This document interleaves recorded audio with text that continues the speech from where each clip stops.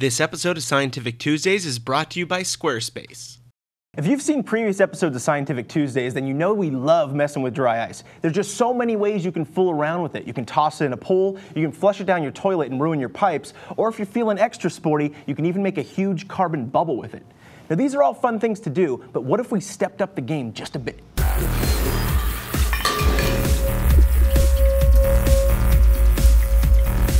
Today I'll take you through another series of dry ice demonstrations, and hopefully by the end of this episode, you'll feel the same way I do about it. Let's get started. Let's start off with a simple one. I'm going to pour some indicator into a cup of water here. Now you can make an indicator yourself by boiling down a red cabbage. An indicator is going to allow us to see acidic changes in whatever solution we add it to. Now we're going to add a small piece of dry ice to the glass and the solid CO2 is going to actually turn into a vaporous CO2. And as that occurs, the carbon dioxide gas will enter the solution and it'll react with the water, forming carbonic acid. That's why the indicator will change colors. That was pretty cool, but you want awesome, so let's freeze stuff. Now, word to the wise here, what we're going to be doing is, is quite dangerous. You really don't want to do it at home unless you really, really know exactly what you're doing.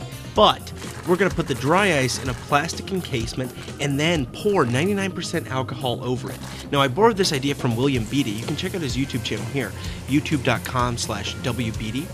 And basically, we're going to take the alcohol down to 110 degrees below zero.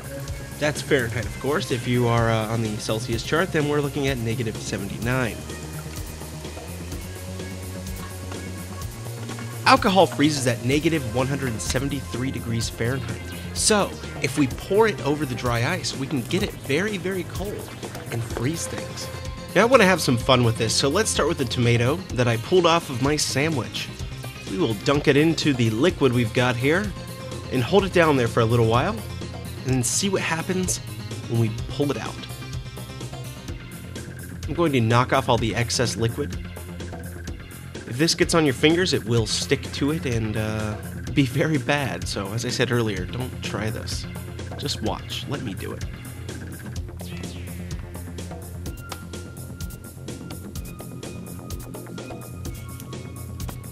So, as you can see, the liquid we've created here has essentially frozen this tomato, and we can now break it apart. Let's try a piece of cheese though and see what happens with that.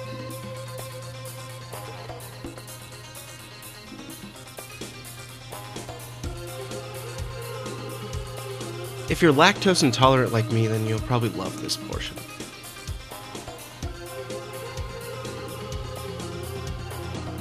Alright, the cheese has been in there long enough. Let's pull it out. Look at the discoloration. Looks like that cheese is pretty hard. Let's break it apart.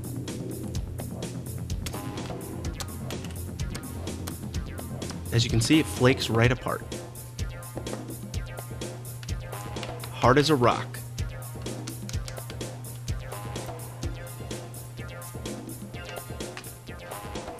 Bye bye, cheese. Now, how about a piece of lettuce? Since it's so thin, I would imagine it's going to break up quite easily when I hit it with a hammer. Let's find out for sure.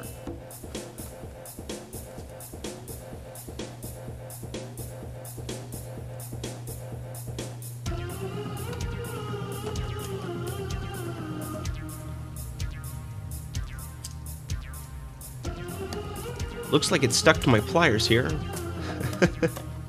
but my calculations were correct. It broke up quite nicely. Let's give it a little extra oomph. You can see the lettuce just shatters like nothing. If you enjoyed these demonstrations so far, then I have great news for you. There's still a bonus clip at the end of the video for you to check out.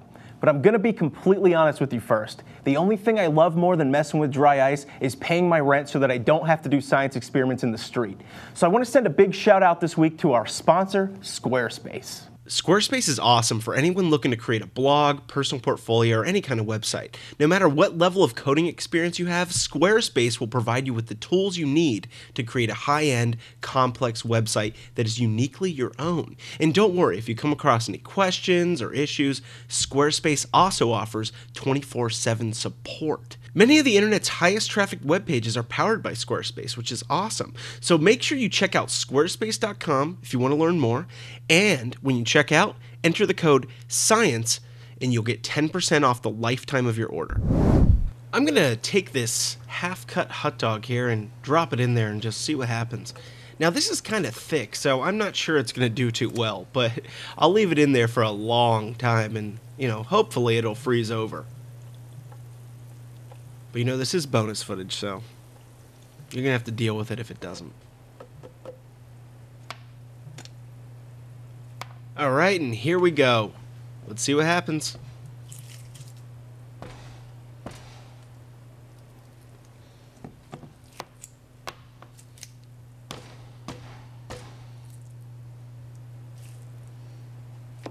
And that's a boo on the hot dog.